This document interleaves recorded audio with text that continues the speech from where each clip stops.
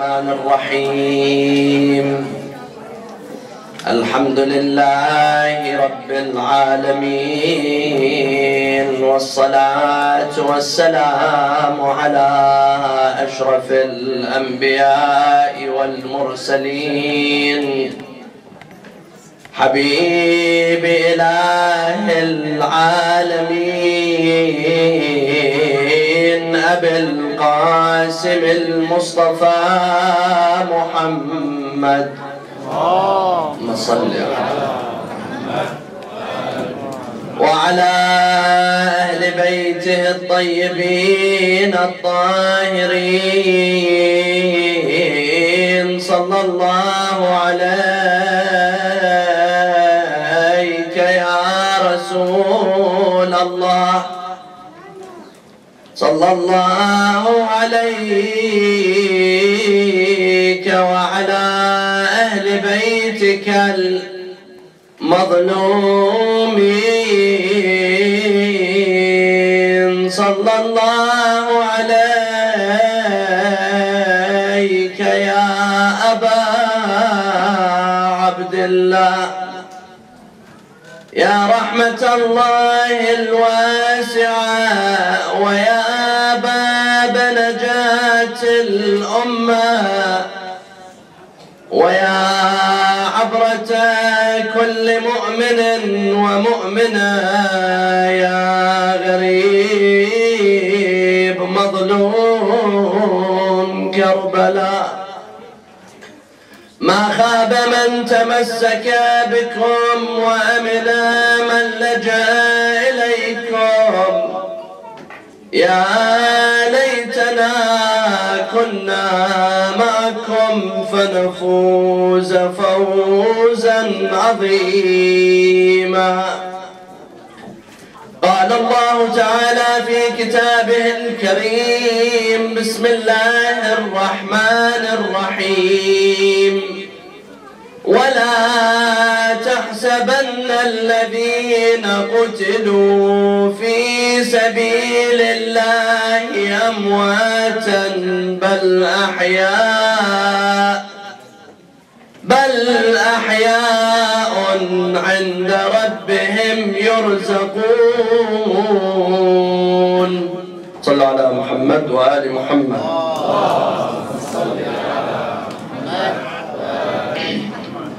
All over the world on a day like this the followers of the Ahlul Bayt and the ones who show love and mawaddah towards the family of Rasulullah are gathered just like we are gathered here tonight.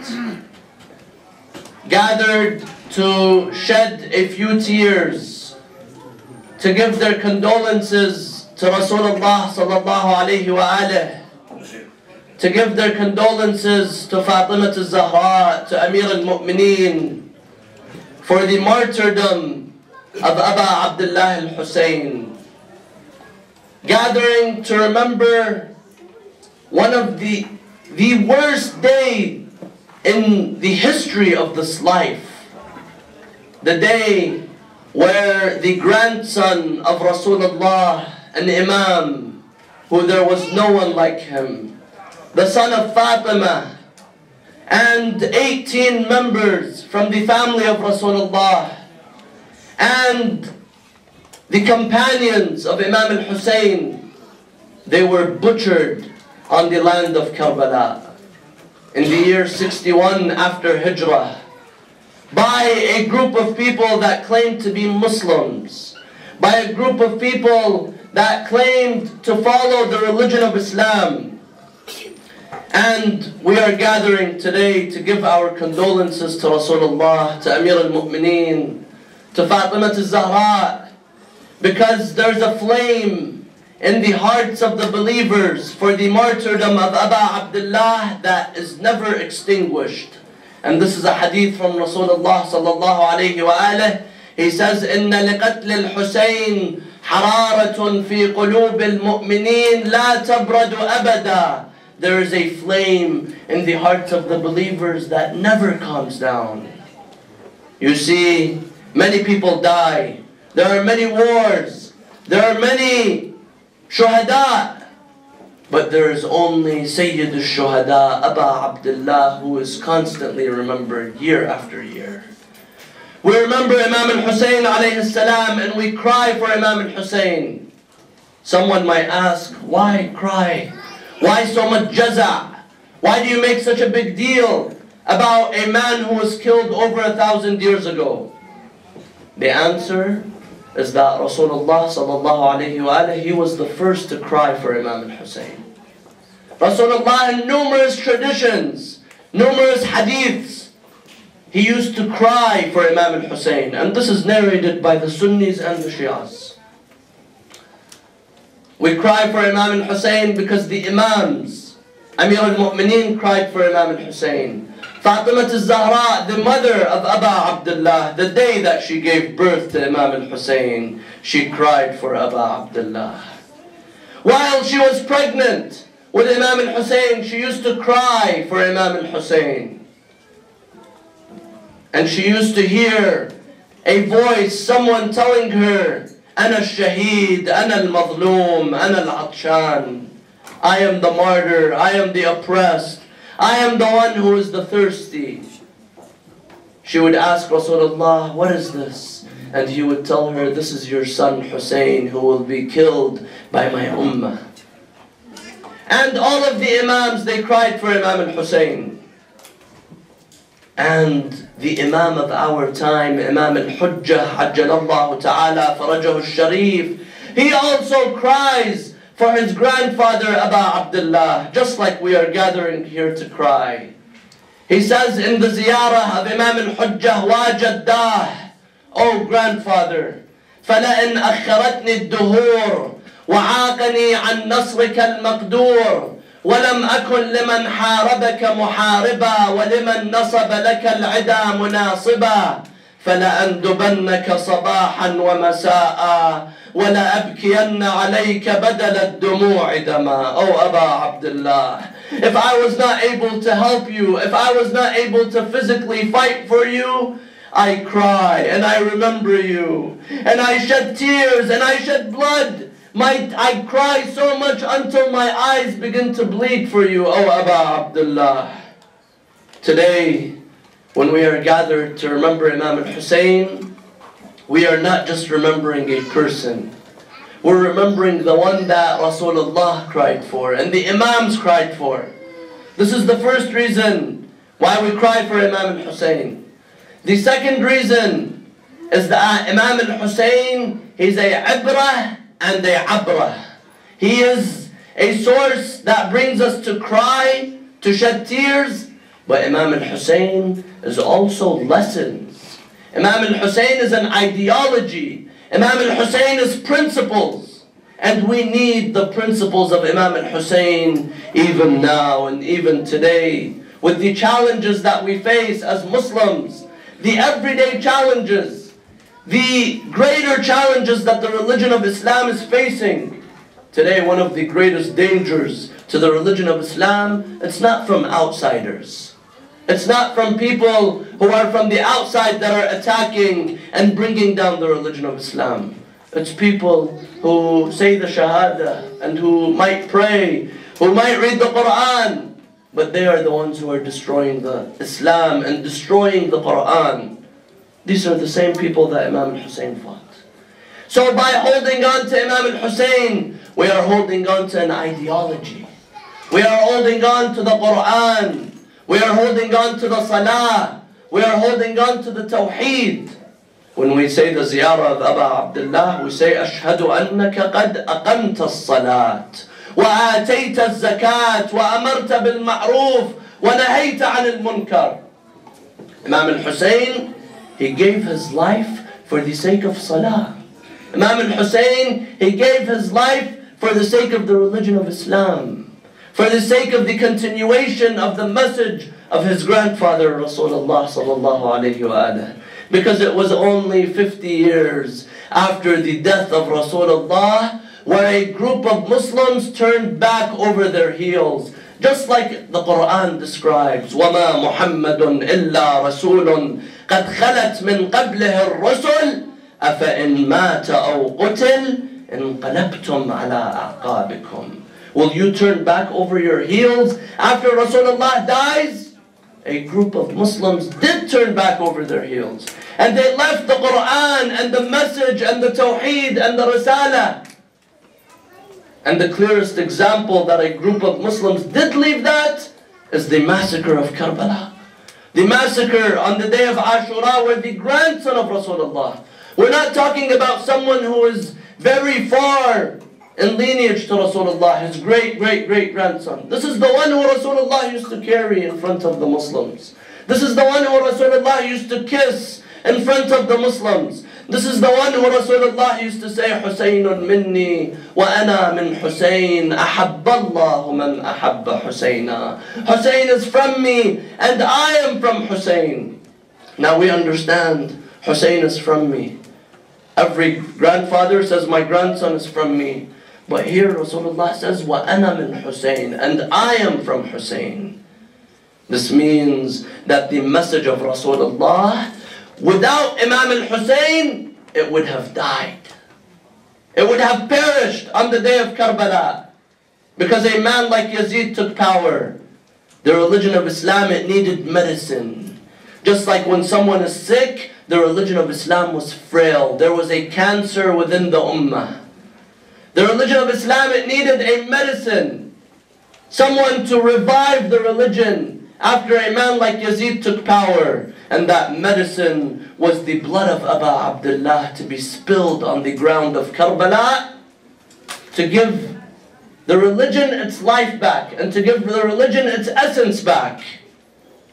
And the poet says on behalf of Imam al-Hussein, إن كان دين محمد لم يستقم إلا بقتلي فيا سيوف خذيني. If the religion of my grandfather Rasulullah does not survive only with my death, then let me die. And this is what Imam al-Hussein did. He gave the ultimate sacrifice for the religion of Islam. He gave the ultimate sacrifice so you and I can stand and pray. So you and I can go to Hajj. So you and I can fast. So you and I know the true religion. Because Imam al-Hussein, all that he did was that he did not give legitimacy to a man like Yazid. If Imam al-Hussein would have stayed quiet and Yazid would have taken power, Imam al-Hussein, he could have stayed in his home. He could have stayed in Medina all he would have had to do is give bay'ah to Yazid and he wouldn't have been harmed. Yazid would have probably sent money for Imam al-Hussein. But Imam al-Hussein alayhi salam, he saw that if he allows a man like Yazid to take power, then that means he, the grandson of Rasulullah, is giving legitimacy to a man like Yazid. So Imam al-Hussein, in order to save the religion of Islam, he gave the ultimate sacrifice. A sacrifice that no one throughout history has given a sacrifice like Abu Abdullah al-Hussein. Where not only he sacrifices himself, but he sees his family and his children one after the other being killed. And Imam al-Hussein was not after power. Imam al-Hussein was not after this dunya. Sometimes you see people, they go and they risk their lives they risk many things that they have for the sake of dunya, for the sake of seeking power. But Imam al-Hussein alayhi salam, his goal was Amr bil Ma'ruf and Nahi al-Munkar. His goal was to revive the faith and give the faith its life once again.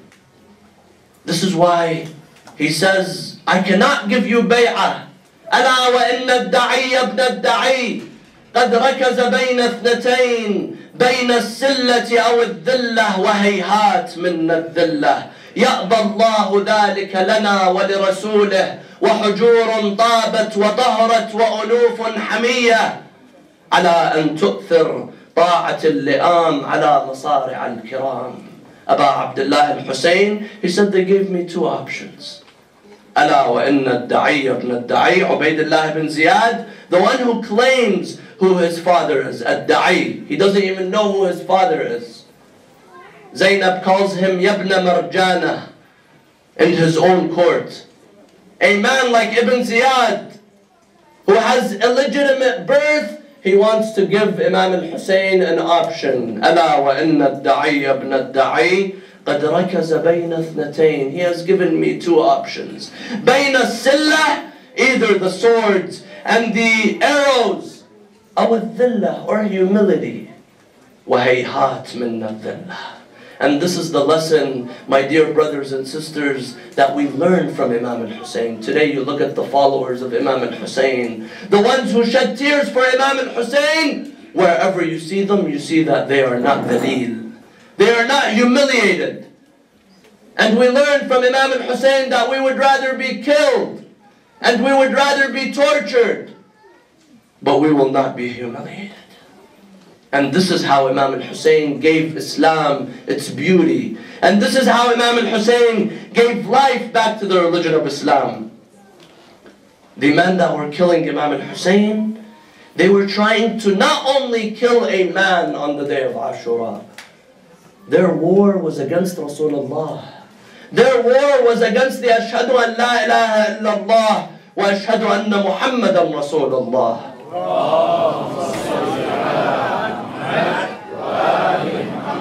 Yazid, he had the head of Imam al-Hussein. After they brought the head of Imam al-Hussein, he began to recite poetry towards the head of Imam al-Hussein. He says, ليت أشياخي ببدر شهدوا جزع الخزرج وقع الأسل لأهلوا واستهلوا فرحا ثم قالوا يا يزيدا لا تشل He says, only if my grandfathers, the ones who were killed by the sword of Ali ibn Abi Talib, only if they were here to see that I have the head of the grandson of Rasulullah. And then he says, لعبت هاشم في الملك. Bani Hashim played with power. فلا وحي جاء ولا خبر نزل. It was not an issue of a revelation or angels coming down upon Rasulullah sallallahu alayhi wa What option does Imam al-Hussein have? Imam al-Hussein, he saw that he was the only one that could defend the faith on that day. They did not only try to kill Imam al-Hussein. By killing Imam al-Hussein, they tried to kill Rasulullah. By killing Imam al-Hussein, they tried to kill the Quran. This is why when Shimr, he came on the 9th of Muharram, a day like this, the night of the Ashura, he came with a letter with Ubaidullah ibn Ziyad. From Ubaidullah ibn Ziyad from Kufa, there were the, the armies, they were gathering. They were multiplying as the days increased. First it was 1,000 on the 2nd of Muharram, then thousands and thousands they began to come until a night like this they had all arrived in Karbala, 30,000. And this is according to the least of traditions, the least hadith, the least number. He comes with a letter from Ubaidullah ibn Ziyad telling him, begin the war right now. Begin the war on the 9th of Muharram. And then the letter also says, kill Hussein, and after you kill him, فَلْتَطَئِ الْخَيْلُ صَدْرَهُ وَظَهْرَهُ Let the hooves of the horses crush the chest of Abu Abdullah. This is what they wanted to do. And this is what they did. They thought that by killing Imam al-Hussein, they will kill the religion of Islam. On the day of Ashura, Imam al-Hussein's bones were crushed. Every single bone in the body of Abu Abdullah was broken. They broke every single bone thinking that by doing that they will be able to destroy the religion of Islam and the message of Rasulullah. However, Allah says in the Quran, وَلَا تَحْسَبَنَّ الَّذِينَ قُتِلُوا فِي سَبِيلِ اللَّهِ أَمْوَاتًا بَلْ أَحْيَاءٌ عِنْدَ رَبِّهِمْ يُرْزَقُونَ They have a plan, and Allah subhanahu wa ta'ala has another plan. And the plan of Allah is the successful plan. The plan of Allah is what worked, and this is why until today you are gathered here to remember Imam al-Hussein. Otherwise, where do you see a person that people they gather and they remember him over 1,400 years after his death? They tried to wipe out the family of Rasulullah. Even that six-month-old child, Ali al-Asghar, they killed him. They did not want to leave anyone from the children of Rasulullah alive. So that this message, so that the Risala of Rasulullah dies with Abu Abdullah on the day of Ashura. But Imam al-Hussein alayhi salam, Allah subhanahu wa ta'ala had planned something else for him. And we learn from Imam al-Hussein that if you work for Allah, if your intentions are pure for Allah, you will be eternalized. And this is how Imam al-Hussein is eternalized today. Imam al-Hussein was born on the day of Ashura. Imam al-Hussein's remembrance, it began on the day of Ashura. Every time they tried to kill him, every time they destroyed the grave, you know the grave of Abu Abdullah was destroyed numerous times by one of the Abbasi caliphs, Al-Mutawakkil al-Abbasi, he destroyed the grave, he tried to destroy the grave of Abu Abdullah over 18 times. Anyone that goes and visits Imam al-Hussein, there have been wars. This is this what you see right now, where people are killing, governments are persecuting and killing the Shia. This is nothing new. During the times of the Imams, they used to see who goes and visits Imam al-Hussein. They would tell him, give us a tax. They saw that that did not stop people from visiting Imam al-Hussein. They come and they tell him, give us your hand. We will cut off your hand. In order to visit Abu Abdullah, we will cut off your hand. They give their hand. And they would cut off their hands to visit Imam al-Hussein. The next year, a person goes to visit Imam al-Hussein. They tell him, give us your right hand. He says, my right hand was cut off last year. Take my left hand. This is what Imam al-Hussein teaches us. He teaches us to sacrifice. He teaches us that blood defeats the sword. As long as you are with Allah subhanahu wa ta'ala.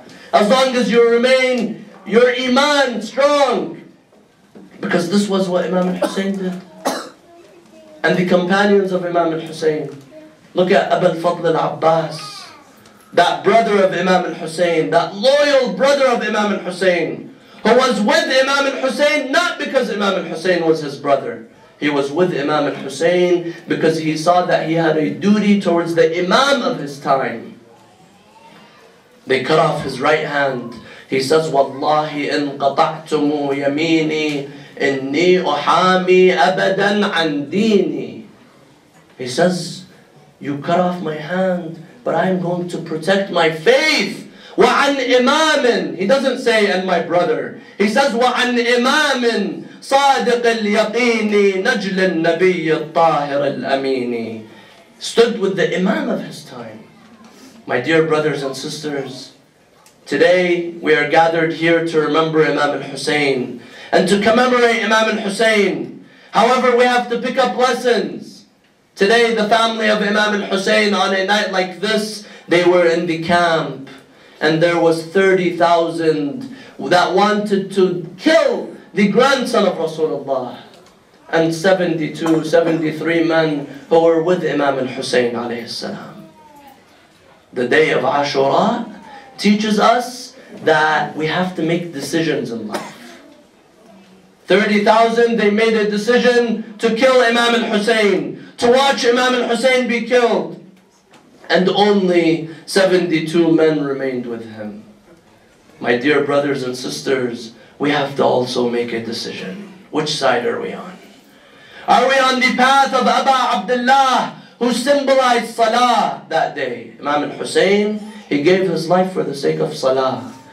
Sayyida Zainab and the woman of Imam al-Hussein, they sacrificed for the sake of hijab. The Ahl al-Bayt, they sacrificed for the sake of the zakat and the hajj and the, and the salah and the remembrance of Allah subhanahu wa ta'ala. So tonight, let me choose which camp am I on. Am I on the camp of Abu Abdullah or am I on the camp of the enemies of Imam al-Hussein? The enemies of Imam al-Hussein they said, no, we're choosing this dunya. They tried to fool themselves. One of them was Umar bin Sa'd. He was the leader, he was the general of the army that killed Imam al-Hussein.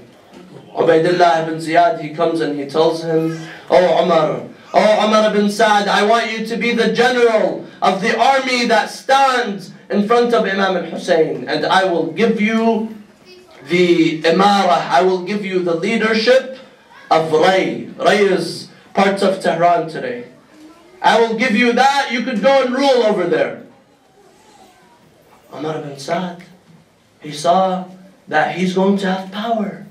He's going to have leadership. He's going to be rich after he takes, after he becomes the governor of an area.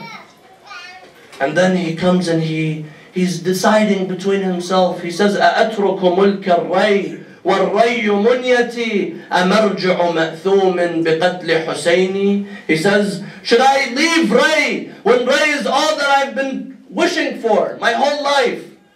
But I have to kill Hussein. And then Shaitan comes to him. He says, yes. They say there is heaven and there is hell and Allah subhanahu wa ta'ala will hold people accountable. If they are correct, I will repent to Allah after two years. He thought that he could fool Allah subhanahu wa ta'ala. He will kill the grandson of Rasulullah and then he will repent two years later. My dear brothers and sisters, on a night like this, we have to make a decision. Which camp we are on, which side we will be with. Imam al-Hussein alayhi salam, he symbolized the side of haqq, the camp of haqq and truth and iman, and that camp uh, symbolized the camp of shirk and nifaq and disobedience and arrogance. A camp that 30,000 men were unanimous in the murder and the oppression of their, their prophet's grandson, Imam al-Hussein alayhi salam. Imam al-Hussein alayhi salam teaches us that we have to make difficult decisions sometimes in life. Now some, sometimes some of us probably we can say, I could never be like Imam al-Hussein. How can anyone expect me to be like Imam al-Hussein? Yes, we can't be like Imam al-Hussein. But we could be like the companions of Imam al-Hussein. Imam al-Hussein, he had companions that came in all ages, in all forms. He had from the old man, Habib ibn Mudahir, to the six-month-old child. He had women, he had children, he had converts, Wahab al-Kalbi, who was a convert, who was with Imam al-Hussein. He even had a slave, and freed slaves that wanted to defend themselves, to defend Imam al-Hussein and the Imam of their time. My dear brothers and sisters, tonight is the night of Ashura. Let us turn our hearts to Karbala. If you have not cried for Imam al-Hussein, cry on a night like this because Rasulullah and Fatima are crying. Cry for Imam al-Hussein because Imam al-Rida alayhi salam says يا ابن شبيب إن كنت باكيا لشيء فابكي لجدي الحسين فقد ذبح كما يذبح الكبش أو son of شبيب If you cry for anything, then cry for my grandfather Hussein. On a night like this, as the sun was going down, it was dusk. Imam al-Hussein alayhi salam he heard the noise, the drums of the war. He tells his brother Abu al-Fadl al-Abbas, he tells him, Binafsi ant, oh my dear brother, Binafsi ant, go and see what they want. What's this drumming? What's this sound? Al-Abbas, he goes back, and then he comes moments later, he says they want to begin the war right now. They want to begin the fighting right now.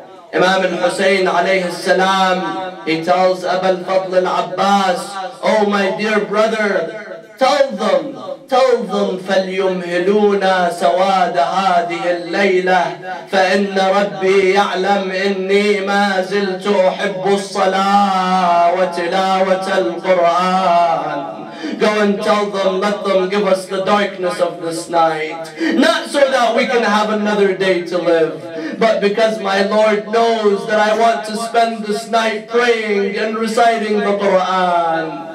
And this is what the camp of Imam al-Hussein on a night like this, this is what they were doing. They were they were worshipping, they were praying to Allah subhanahu wa ta'ala.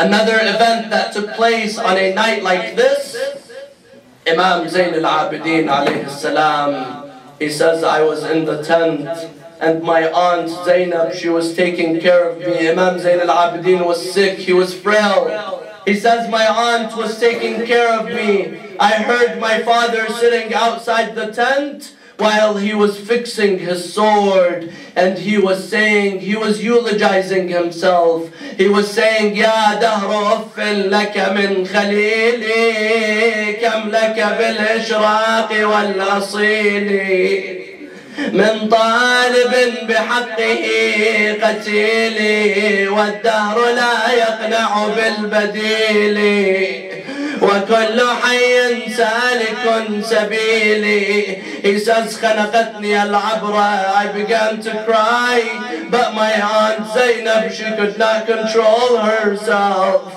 She went to Imam الحسين She tells him أخي أبا عبد الله أراك تنعى نفسك اليوم مات جدي اليوم مات المصطفى اليوم ماتت أمي فاطمة فاطمة الزهراء اليوم مات المرتضى اليوم مات المجتبى. Oh my dear brother I see that you are eulogizing yourself. How can you leave us? How can you be killed? Imam al-Hussein he tells her أخي زينب تعزي بعزاء الله. واعلمي أن أهل الأرض يموتون وأهل السماء لا يبقون. جدي خير مني أبي خير مني. Ummi khayrun minni, akhi khayrun minni. He tells her, my grandfather and my mother and my father and brother, they all are better than me and they died. So I see that they are role models. We are all going on this path. We will all die eventually. Sayyidah Zainab began to cry. The hadith says that Imam al-Hussein alayhi salam, he placed his hand on her chest and after he did that, it brought the calmness to Sayyida Zainab. She felt the calmness. And then Imam al-Hussein alayhi salam, he tells her, Oh Zainab, I will be killed tomorrow. And we will all be killed. And the tent will be burned. Oh Zainab, you have the responsibility after me. You will have to take care of the children after me. You will have a very difficult road ahead of you after me. She promises him that she will fulfill her responsibility. تقل أنا بعيني لباري لك عيالك تقل أنا بعيني لباري لك عيالك وبروحي لسكت لك أطفالك. خويا الموت لا يرضى بدالك نروح كل إحنا فدالك. أو أبا عبد الله. او امام الحسين امام الحسين on the day of Ashura, on the day of Ashura after everyone was killed, after Abu Fadl al-Abbas and the companions were all killed, وقف على خيامه مودعا He stood to say his final farewell. He stood to say his final farewell. But before doing so, he saw that his son Ali al-Asghar, Abdullah al-Radi' that six-month-old child of Imam al-Hussein, he saw that that child was going to die out of thirst. His mother did not have milk to give him because she had not drank water or eaten food. So he takes his son, Ali al-Asghar, he takes him and he wears the cloak of Rasulullah and he rides a camel so they know that he's not going to fight. He has something to tell them. He hides the child under his cloak and he goes forward. They don't know what he has under his cloak. Some say he has a Quran, others they're confused. Then they see Imam al-Hussein, he, bring out, he brings out a six-month-old child. He tells them, يا قوم كان لي ذنب فما ذنب هذا الرضيع if I have hurt you, if I have done something wrong, then what has the six-month-old child done to you? And the, the army, they begin, they were divided. Some said, give him water. Others said, do not give him water. Let them all die out of thirst. The son of Imam al-Hussein, Imam al-Hussein tells them, you can even take them, you can take him and you give him water if you are afraid that I will drink from the water. Amr ibn Sa'd, he calls Harmala, he tells him, Ya Harmala, al-qawm. Oh Harmala, I don't want my army to be divided over a six-month-old child. Harmala says, what should I do? He says, don't you see the child and the neck of the child that is shining? Harmala says, I had a three-pronged arrow. I had that arrow with me. I aimed. I saw that the wind moved the aba and the neck of the child was shown. I shot the child in his neck. He was decapitated from that shoot, from the arrow that I shot him. Imam al-Hussein alayhi salam, suddenly he looks at his child. He sees that his child has been butchered. He places his hands under the neck of the child and he throws the blood in the sky. Imam al-Baqir says, Wallah, not a drop of blood came back. And Imam al-Hussein, he heard a caller, he heard someone telling him from the sky, Dahu ya Hussein,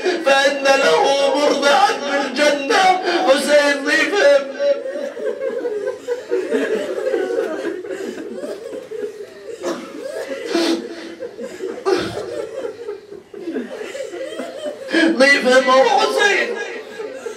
He will be quenched in paradise. Now Imam al-Hussein, he says, إلهي لا يكون أهون عليك من فصيل ناقة صالح meaning that, oh Allah, you punish the people of Prophet Salih because they killed a camel. Is my son less than a camel?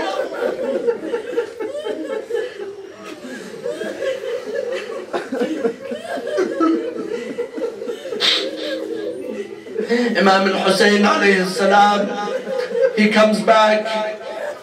The children, they stand in front of Imam al-Hussein, they tell him, Oh Aba Abdullah, you gave Ali al-Asghar water, we also want water. Imam al-Hussein, he gives the child to Sayyida Zainab. And he tells her, Matbu'ah, they killed him, they butchered him, they did not give him a drop of water. صاحب الزمان إمام الحجة. يسنس السلام علي الأصغر يسنس السلام على عبد الله الرضيع المرمى الصريع يسنس أول سلام عبد الله الرضيع مات التصبر بانتظارك أيها المحيي الشريعة صاحب الزمان is crying right now. مات التصبر في انتظارك أيها المحيي الشريعة. فانهاض فما أبقى التحمل غير أحشاء جزوعة. ماذا يهيجك إن صبرت لوقعة الطف الفجيعة. حيث الحسين على الثرى. خيل العدا طعن الضلوع. ورضيعه بدم الورد مخضب فاطلب رضيعه لا حول ولا قوة إلا بالله. العلي العظيم إنا لله وإنا إليه راجعون. يا الله نسألك اللهم وندعوك باسمك العظيم الأعظم. Allah Azzil Ajallil Akram Everyone with your loudest voices ten times. Ya Allah. Oh, ya